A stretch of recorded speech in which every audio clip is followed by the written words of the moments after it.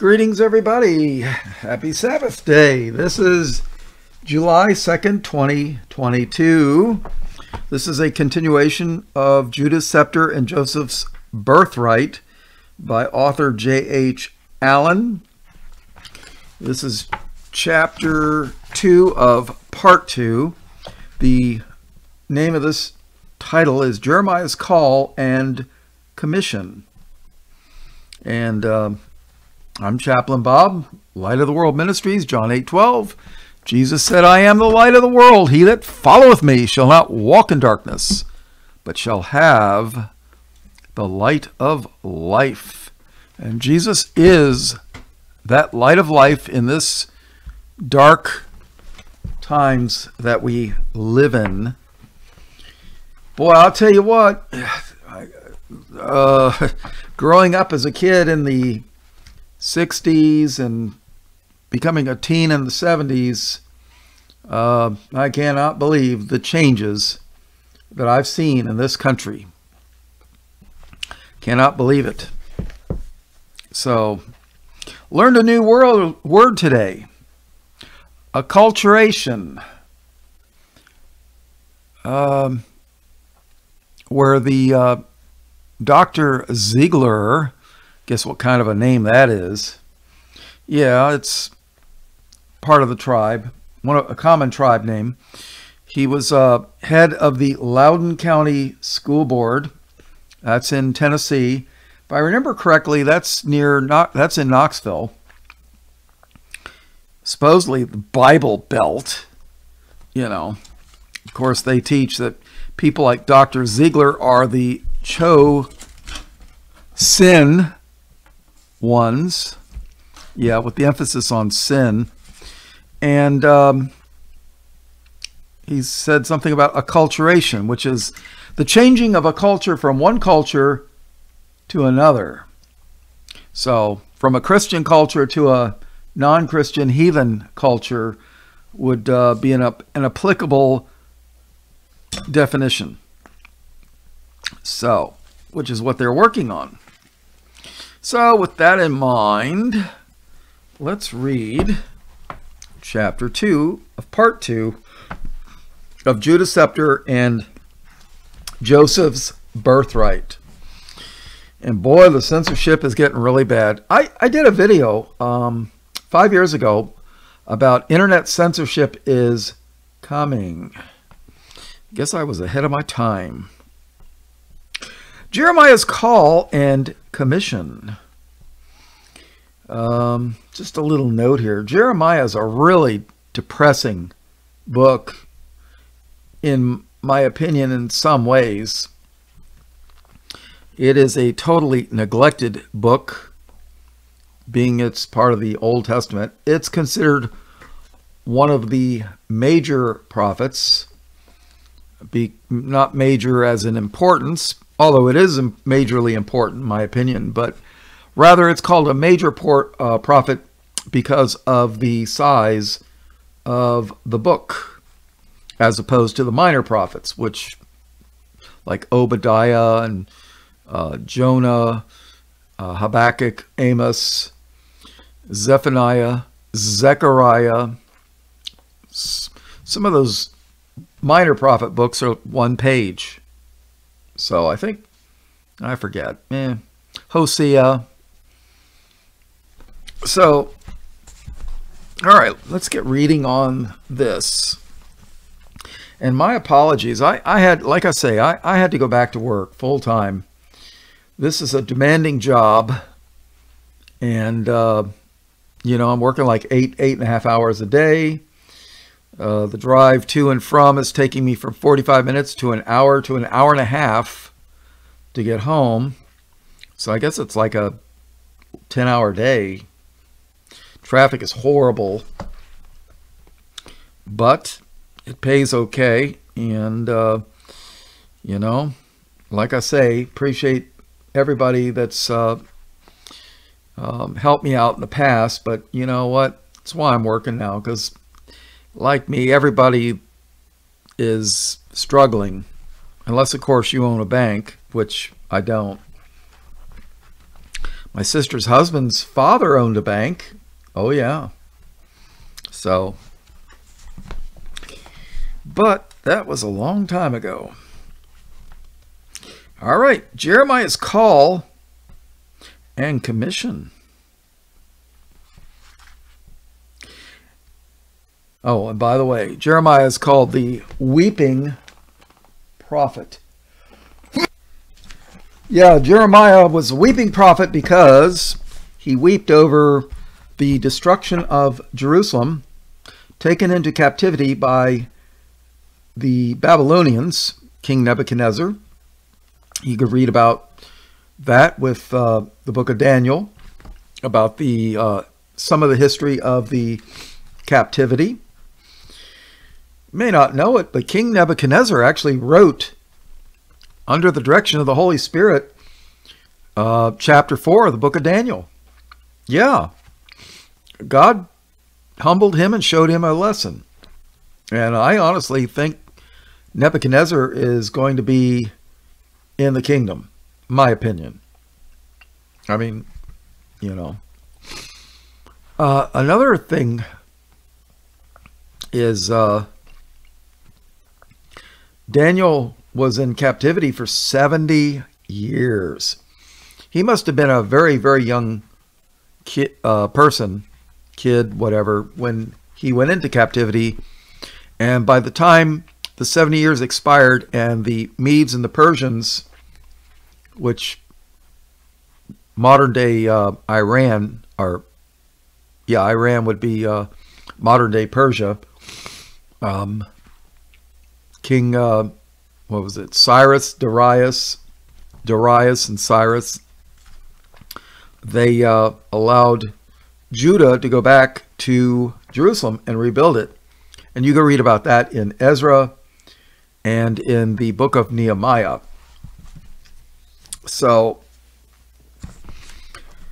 there's a lot of uh, a lot of history in the Bible. So Okay, let's get to reading here. Having settled the question concerning the perpetuity of the covenant which God made with David and his sons, uh, by the way, per, perpet, perpetuity means perpetual, forever, you know, which God made with David and his sons, together with the fact that he has given as a pledge of their everlastingness not only the astronomic order of producing day and night, months, years, and seasons, but the very holiness of his character as well. We must now proceed to take up the thread of history which pertains to that scepter, throne, kingdom, and royal seed whose continued existence is balanced over against such weighty considerations as the power, integrity, and immutability of the character and word of God. When dealing with the history of the birthright and its inheritors, the house of Joseph, we had of necessity much to say concerning the history of the scepter and the royal family, its inheritors. Especially was this true when we contrasted that system of feudalism and continual overthrowing of dynasties which prevailed in the kingdom of Israel as compared with the one continuous dynasty and succession of the royal princes of the Davidic, uh, Judah Davidic family as they mounted the throne of their fathers and held the scepter over the kingdom of Judah. And uh, Bob's note here, you can read about that in the Book of Kings and Chronicles. All right, let's keep reading.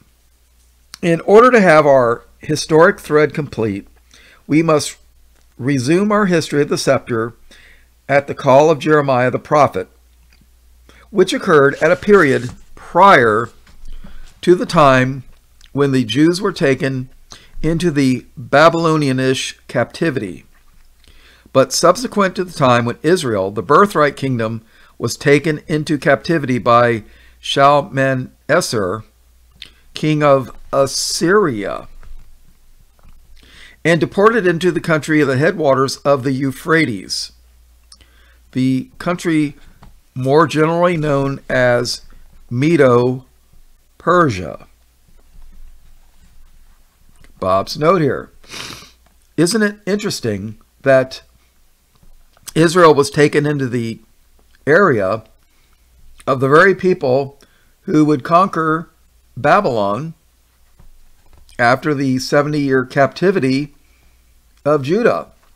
Of course, this happened a um, couple hundred years prior to Judah's being taken into captivity. All right, let's keep reading.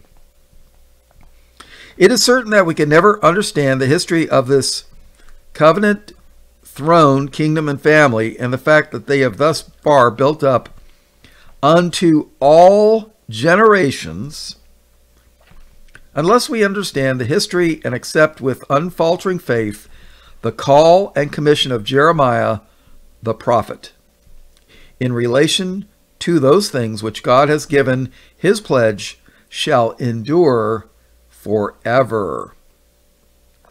For if it for if to be taught the distinction between the two houses and to understand the differences between the kingdoms of Israel and Judah may be likened unto the key which unlocks the outer sanctuary of our knowledge and understanding of sacred history, then surely a knowledge of the life and work of Jeremiah, the son of Hilkiah, is the key which the Holy Spirit can use to open the inner sanctuary or holy of holies of our understanding in these manners upon which rest the vindication of God. All right, let's continue here. According to the divine record, there have lived in this world only three men who were sanctified before they were born. The first was the same Jeremiah, who, in one of the darkest hours of all of history of the Abrahamic nation, which pertains to them as a whole, was made the custodian of the scepter throne and royal seed of David. The next was John the Baptist, the forerunner and herald of the coming prince of the house of David. Then came the last and greatest of all, our Lord and Savior, Jesus Christ, the Son of David, that prince of whom the angel declared unto Mary at the time of the Annunciation, The Lord God shall give unto him the throne of his father David. And that's in the first chapter of Luke 32. Bob's note here. Uh, let's take a side track here. Turn your Bibles to Jeremiah chapter 1, verse 1.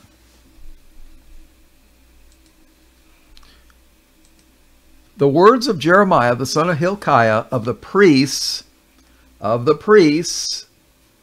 Uh, so evidently he is a Levite. Uh, the tribe of Levi, there were 12 tribes.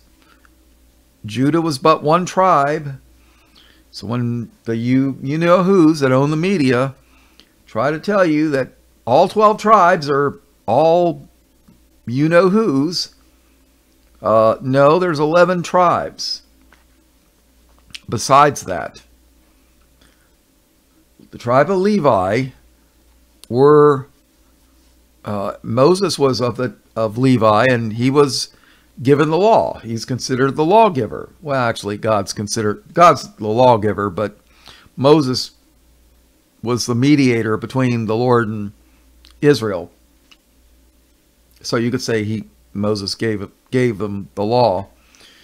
But uh, they were the ones that served the Lord in the temple and the tabernacle. They were the ones that did the animal sacrifice and what have you. Uh, John the Baptist's father was of that tribe. Mary, who bore Jesus, was also of Levi. She was a cousin of Elizabeth, who was John the Baptist's mother. So there's a distinction that is totally lost on uh, demon nominational preachers. So, the words of Jeremiah the son of Hilkiah of the priests that were in Anathoth in the land of Benjamin. Now remember, Benjamin, portion of Levi, and Judah were in the southern kingdom of Judah and Jerusalem. Verse 2 To whom the word of the Lord came in the days of Josiah. Josiah was a good king. Josiah was a great king.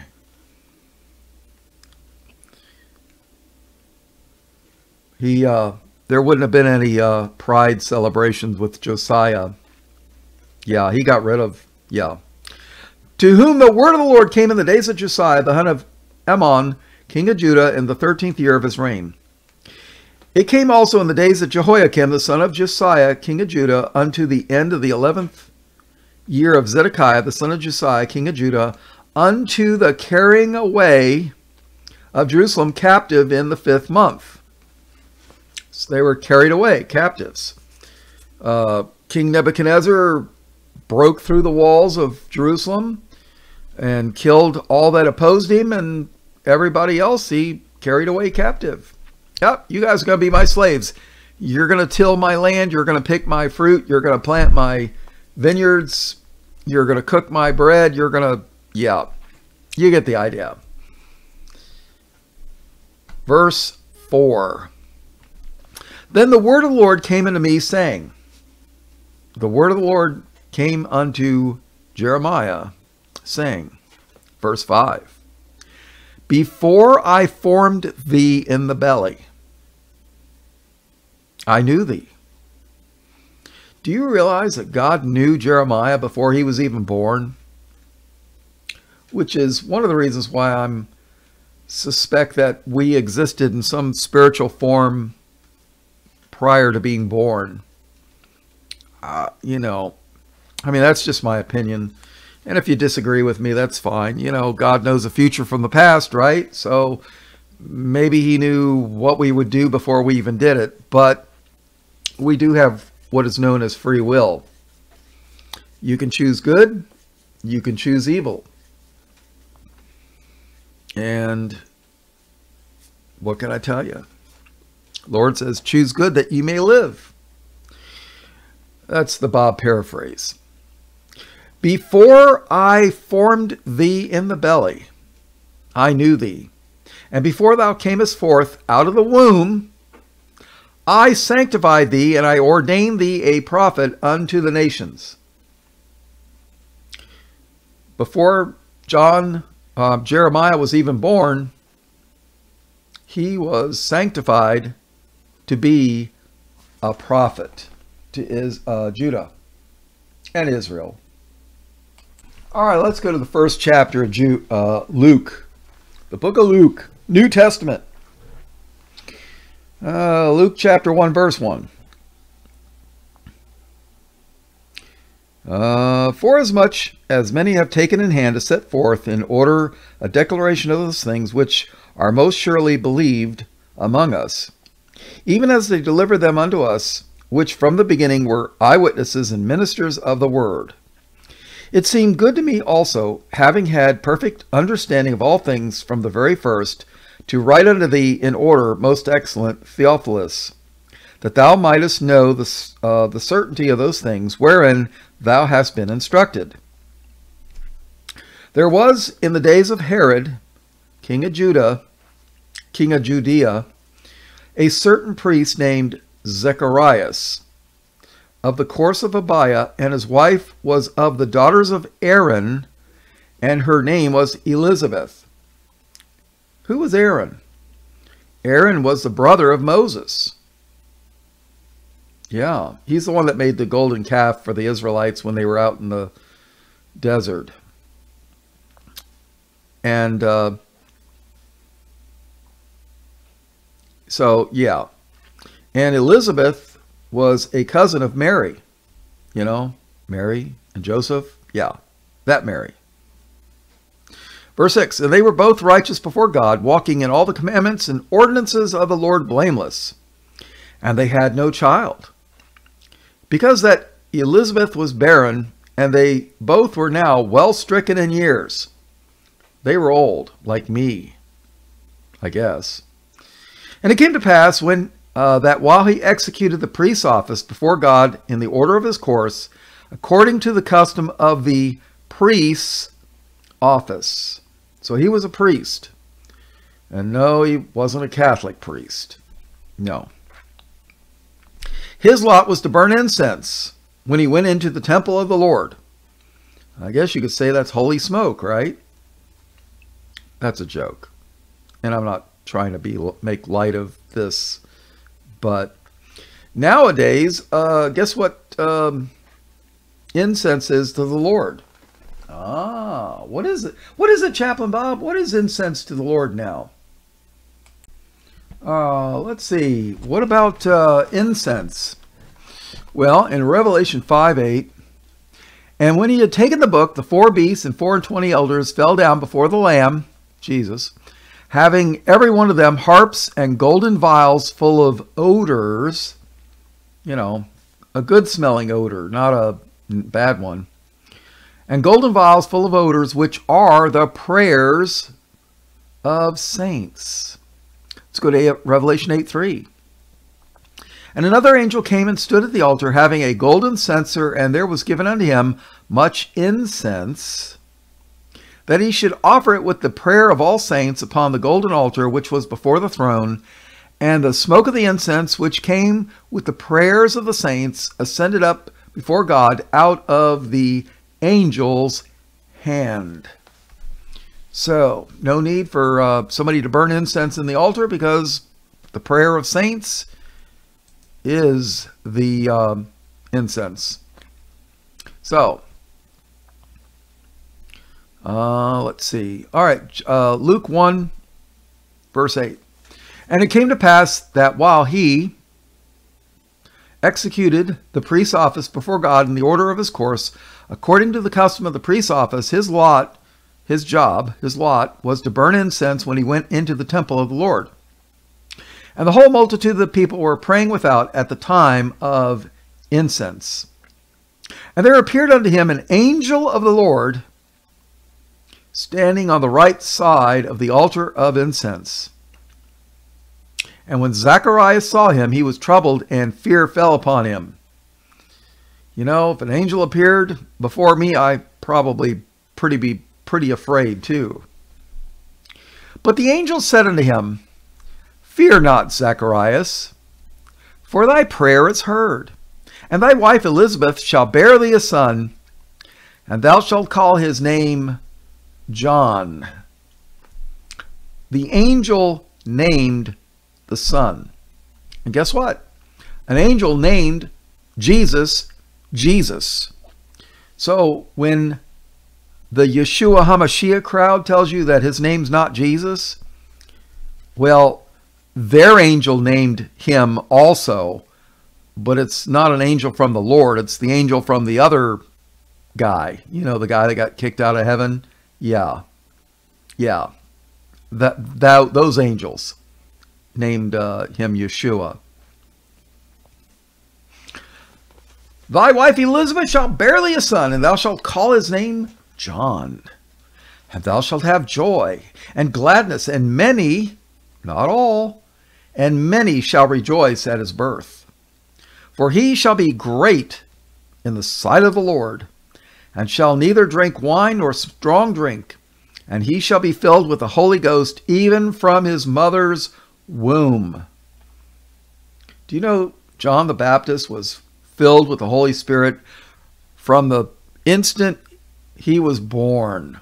As soon as he came out of his mother's body. And many of the children of Israel shall he turn to the Lord their God, and he shall go before them in the spirit and power of Elias. That's the Greek rendering of Elijah. You see, the New Testament was written in Greek, not Hebrew. When people tell you it was written in Hebrew and then translated or mistranslated into Greek, they're liars. And the you know who's are behind that. And he shall go before him in the spirit and power of Elias to turn the hearts of the fathers to the children and the disobedient to the wisdom of the just, to make ready a people prepared for the Lord. John was a forerunner to prepare people for Jesus. And Zechariah said unto the angel, Whereby shall I know this? You know, how's this going to happen? You know, for I am an old man and my wife well stricken in years. Uh, hey, angel, don't you know that me and the wife are old and she does, she can't have children anymore. She's old. Dude, you don't know what you're talking about. Well, that's kind of the Bob paraphrase thingy. And the angel answering said unto him, I am Gabriel. You know, there's only uh, three, I think there's three angels mentioned in the Bible. Gabriel, which uh, Gabriel appeared a couple times. Michael, and then um, the one that they named Lucifer. Lu has reference to light, as in he's an angel of light. And the angel answering said unto him, I am Gabriel that stand in the presence of God and am sent to speak unto thee and to show thee these glad tidings. And behold, thou shalt be dumb and not able to speak until the day that these things shall be performed, because thou believest not my words, which shall be fulfilled in their season. Oh, yeah? You don't believe me? Well, yeah. You get the idea. All right, let's go to uh, Matthew chapter 1, verse 18. Now, the birth of Jesus Christ, hmm, people that use Yeshua, you see, they're denying your Bible. They're, de- they're denying the Greek New Testament. Yeah, totally denying it. Now, the birth of Jesus Christ was on this wise. When his mother Mary was espoused to Joseph, before they came together, she was found with child of the Holy Ghost. Then Joseph, her husband, being a just man and not willing to make her a public example, was minded to put her away privily. But while he thought on these things, behold, the angel of the Lord appeared unto him in a dream, saying, Joseph, thou son of David, fear not to take unto thee Mary thy wife, for that which is conceived in her is of the Holy Ghost. And she shall bring forth a son, and thou shalt call his name Jesus for he shall save his people from their sins. Now all this was done that might be fulfilled, which was spoken of the Lord by the prophet, saying, Behold, a virgin. Modern Bible versions uh, in the Old Testament. This is a um, I forget what book it's in. It's in the Minor Prophets, the Old Testament, about a virgin being with child. Um, but they change virgin to young woman. Alma. Ooh, that means a young woman. So what does that mean? A five-year-old gave birth? And by the way, that happened. A five-year-old gave birth. Yeah. Uh, was it a miracle? Uh, I don't think so. I think she had help. Good thing I wasn't the father. I'd have found out who that, who did that, and she would have been a uh, a widow, I guess, or well, whatever. Behold, a virgin shall be with child, and shall bring forth a son, and they shall call his name Emmanuel, which being interpreted is God with us. Emmanuel. How come the Yeshua crowd doesn't use Emmanuel? Emmanuel, God with us. It's in the Old and the New Testament. Both. Why don't they use that instead of Yeshua, which appears nowhere in the Bible. Oh, wait, I'm sorry. Yeah, it does appear. It's in. It's called the Book of jo uh, Joshua. Genesis, Exodus, Leviticus, Numbers, Deuteronomy, Joshua, who took over from Moses. But they'll they'll mispronounce it and call it Yeshua. All right, let's go back to Luke chapter 1. Let's skip on down to verse 24. And after those days, his wife Elizabeth, you know, uh, Zacharias, you know, John the Baptist's mother, his wife Elizabeth conceived and hid herself five months, saying, Thus hath the Lord dealt with me in the days wherein he looked on me and took away my reproach among men. See, back in those days, not being childless was considered uh, a curse. Nowadays, it's considered a blessing. Hey, you got pregnant? You don't want that child. Go have an abortion. Get rid of it. Verse 26. And in the sixth month, the angel Gabriel, here's Gabriel again, was sent from God unto a city of Galilee named Nazareth to a virgin espoused to a man whose name was Joseph of the house of David. See, Joseph was a direct descendant of King David. Mary was a direct descendant of Aaron, the tribe of Levi. You got a merging of the priest tribe and the king tribe in Christ. Think about it. Yeah. You know, people don't catch these things. And the virgin's name was Mary. And the angel came in unto her and said, Hail, thou that art highly favored. The Lord is with thee. Blessed art thou among women. And when she saw him, she was troubled at his saying, and cast in her mind what manner of salutation this should be. Hey, wait a minute. I got an angel talking to me you know, and salutation. That's where you get the word uh, salute. And, you know, it's like a greeting. And the angel said unto her, Fear not, Mary, for thou hast found favor with God. And behold, thou shalt conceive in thy womb and bring forth a son, and thou shalt call his name Yeshua HaMashiach? No. Guess what? God's angel named him Jesus. They hate the name Jesus. They absolutely hate and despise the name Jesus. Why don't they use Emmanuel? I'd have no problem with the book with the name Emmanuel. Old and New Testament. God with us. That's what Jesus was. He was God in the flesh. Yeah. Read 1 Timothy 3:16. God was manifest in the flesh, justified in the spirit, seen of angels preached unto the Gentiles, received up into glory. Amen. And behold, thou shalt conceive in thy womb and bring forth a son, and thou and shalt call his name Jesus. Before he was even born. And he shall be great, and shall be called the Son of the Highest, and the Lord God shall give unto him the throne, the throne of his father David, and he shall reign you know, ruling and reigning, not water falling from the sky. No, and he shall reign over the house of Jacob forever, and his kingdom shall, there shall be no end. Oh, yeah. Then said Mary unto the angel, How shall this be, seeing I know not a man? She, she's not questioning him, saying, oh, don't you know, this is impossible. I, I've never been with a man, so I can't get pregnant. No, she's asking him, oh, basically she's saying, okay, I, I believe you, angel of Lord, but can you explain to me how this is going to work out? Because, you know, I haven't been with anybody.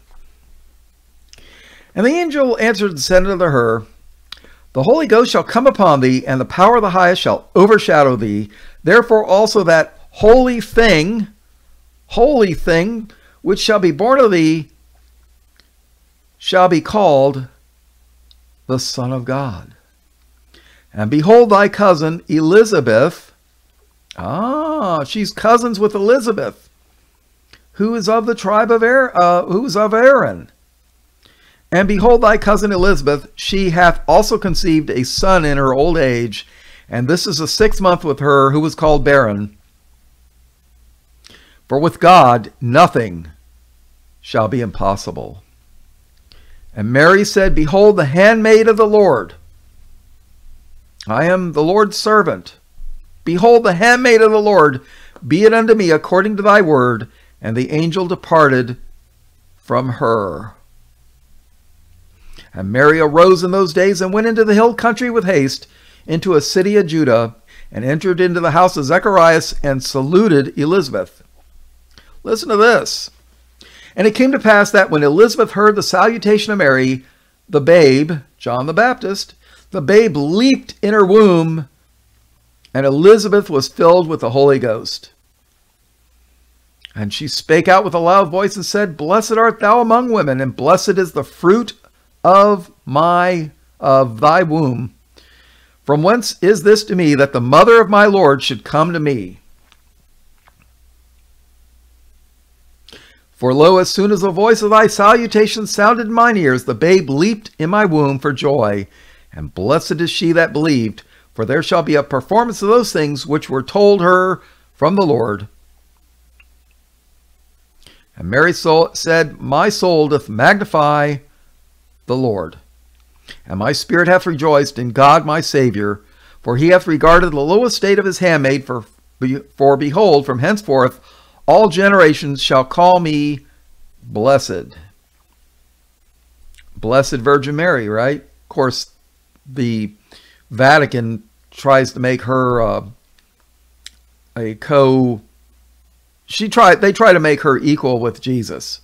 No, Mary was blessed, but she's not equal with Jesus. 49. For he that is mighty hath done to me great things, and holy is his name, and his mercy is on them that fear him from generation to generation. He hath showed strength with his arm, he hath scattered the proud in the imagination of their hearts. He hath put down the mighty from their seats, and exalted them of low degree. He hath filled the hungry with good things, and the rich hath he sent away, sent empty away. He hath holpen his servant Israel in remembrance of his mercy, as he spake to our fathers, to Abraham, and to his seed, or children, and to his seed forever. Oh, yeah. You get it now? I hope so. All right, everybody, I got sidetracked there. But I wanted, he, this author mentioned the three um, people that were uh, filled with the Spirit from the beginning, from before they were even born. Jeremiah, John the Baptist, and of course Christ, which is God the flesh. You know, so um, one of the, uh, I'm, I'm before I start reading the book again. One of the things that uh, the uh, false religious movements, I guess you could say, is like the New Age, they want you to believe that you can become God, but yet they will deny that God can become man. A big difference there. Um, Satan tried to become God. Uh, didn't work out too well. You know, sorry, that position's already been filled. Um, yeah. All right, so but uh, yeah, there's, you know, Jeremiah, John the Baptist, and, G- and Christ. And no, it's not Yeshua. Yeshua is, Joshua is the sixth book in the Old Testament. In my King James Bible, anyway, so. All right. The Lord shall give unto him the throne of his father David. Speaking of Christ, that's in Luke 132. When this blessed prince takes his seat, he will be the last king to sit on that throne or on, or any other on this earth. Period. In the days of Josiah, the son of Amon, king of Judah, in the thirteenth year of his reign, while Jeremiah was still a minor, a mere youth, only seventeen years of age, he received his call as the prophet unto the nations, and was given his commission, the details of which he himself has given in the first chapter of his own prophecies as follow. Then the word of God came unto me, saying, Behold, I'm sorry, before I formed thee in the belly, I knew thee, before thou camest forth out of the womb, I sanctify thee, and I ordain thee a prophet unto the nations. Then said I, Ah, Lord God, behold, I cannot speak, for I am a child.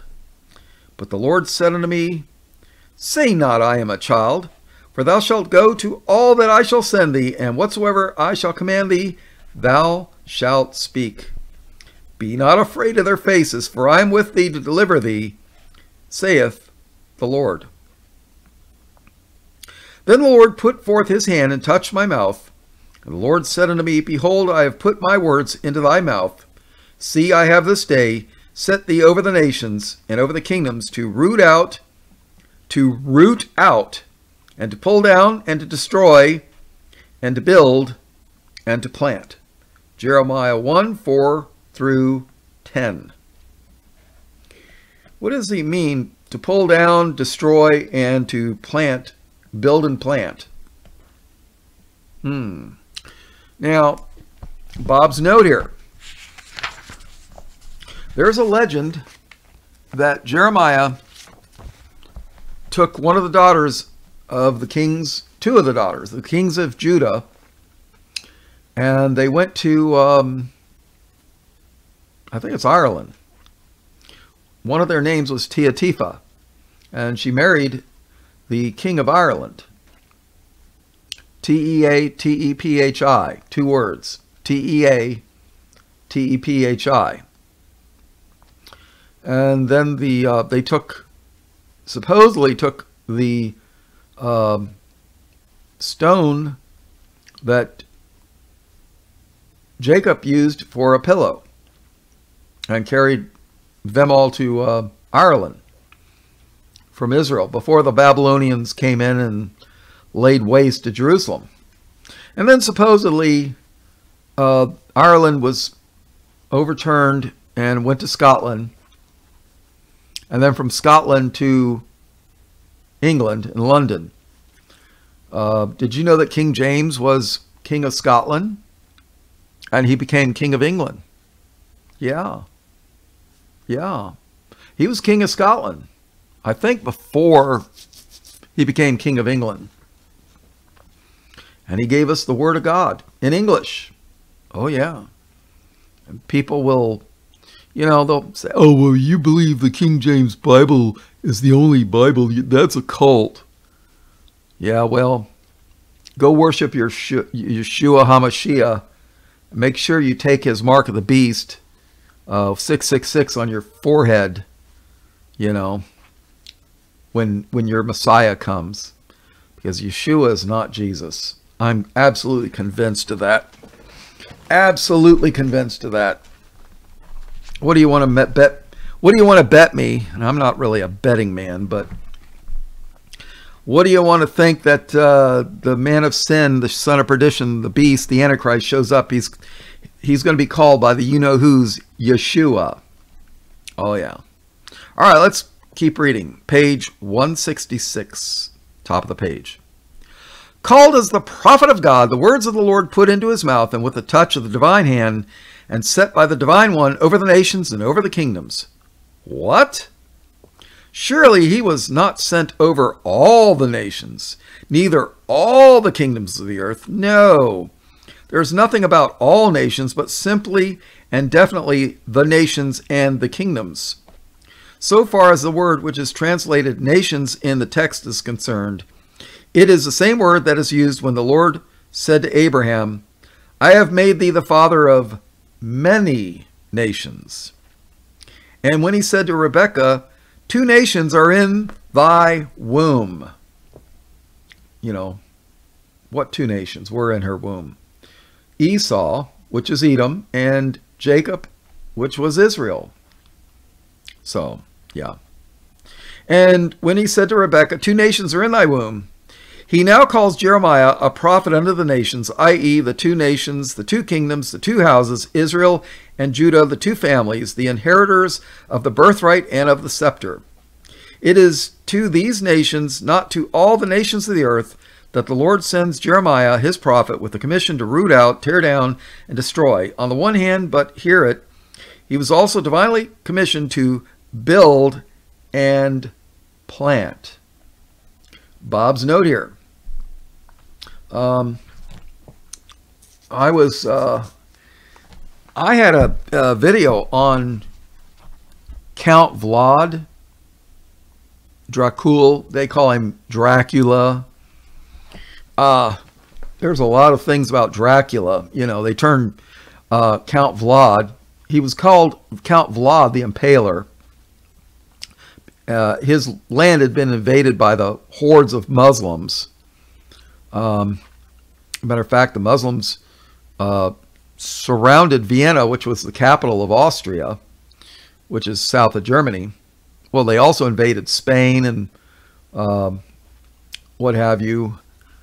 And um, Vlad was from uh, Romania, the province of Transylvania. Ha ha ha. So, but they turned Count Dracul into Dracula, a blood drinking vampire. But the truth of the matter is, um, he was a Christian. And you know, when Jesus said, Take, you know, the Last Supper, he took the bread and said, This is my body, eat this wine, this is my blood, drink of the new covenant. Yeah, they, they turned that into being a vampire, uh, killing people and drinking their blood. But uh, when Count Vlad, the impaler, caught, captured a Muslim, uh, they would impale him. They would basically stick him on a stick and push the stick through his body and let him hang there. And the Bible says, Cursed is he that hangeth on a, on a tree. And what, what was the pole made of? Wood, you know. And uh, he would line the highways with these people, with these Muslims. And uh, as a warning that if they were captured, you know, this is what fate uh, would awaited you. He was horribly outnumbered. And, uh, but uh, they turned this Christian man who was fighting for his life and his nation and his people into a vampire. Yeah. And I had a video on that. And evidently it's gone. Uh, you know who, um, a T with a oob, uh, deleted it. And I wish I'd have kept a hard, um, the movie copy, but whatever. Boy, they've deleted a lot of my videos. A lot. Um, and I can't keep copies of all the videos. It just, I would need a huge storage capacity. Huge. I mean, just absolutely huge. But I've got the audios, but I don't have uh, videos. So, whatever. All right, so let's keep reading the book. Um, all right, so Jeremiah, he was divinely commissioned to build and plant. The fact that Jeremiah was commissioned to overthrow the commonwealth of Judah, destroy the Davidic kingdom as it then existed among the Jewish people, throw down the throne of David, which was in their midst, and root out that branch of the royal family which occupied the throne at that time, all this is so clear, so well known that most, if not all, of the accepted authorities of Christendom proclaim it but those same authorities do not seem to know, neither do they proclaim that which follows as a natural sequence, i.e., that if it was the kingdom, scepter, throne, and seat of David, which was to be overthrown, then it follows that it is those very same things which must again be planted and builded. Hence, we affirm that as God is still holy and did not lie to David, and if he did not sanctify, call, and commission Jeremiah in vain, then the throne of David was again set up, the seed planted, and the kingdom builded before Jeremiah died. Mind you, we do not say that these were planted and builded among the Jews. That was not at all necessary in order to fulfillment. Indeed, we will show you that it was not planted nor builded in Judea, for God gave the kingdom over Israel to David forever, even to him and his sons by a covenant of salt. Nine twelfths of the seed of Israel were never never members of the Jewish kingdom or of Judah. The great wrong of which the standard authorities of Christendom have been guilty is that with a wide open Bible before, before them, they should be in such ignorance, I believe deception, but you know, they're not ignorant. They're deceivers. Um, they should be in such ignorance of the declared purpose of God and have such a hesitating apologetic faithfulness, faithlessness in his covenant promises, wherein he has sworn by himself that they are blinded even to the necessity of accounting for the building and planning which God gave Jeremiah to do. The great fault with their whole teaching so far, as the outcome of Jeremiah's work is concerned, is that they either suffered, implied, or actually taught that the promises of God to David were allowed to go by default. In other words, failure. God's promises to David were ended up in failure if you follow demon denominational church world theology, of which I do not. So, all right, let's keep reading. And when an honest questioner would arise as of necessity, there must be at once become an, an irresponsible, irregular, unarmored stripling upon whom these regulars in the army of Israel insist on putting the armor of Saul. Saul was the king before David. God got rid of Saul. But the heavy armor of the should be leader will not fit the bright young head and freer limbs of the little irregular, so he must go forth alone to slay the giant of infidelity, Goliath, whose champion have been defying the armies of the living God. Meanwhile, these regulars stand on the hill of their self importance and ask, Who is this youthful stripling whom we see down in the valley picking up pebbles with which to meet the foe whose challenge has sent dismay among us for lo, these many days?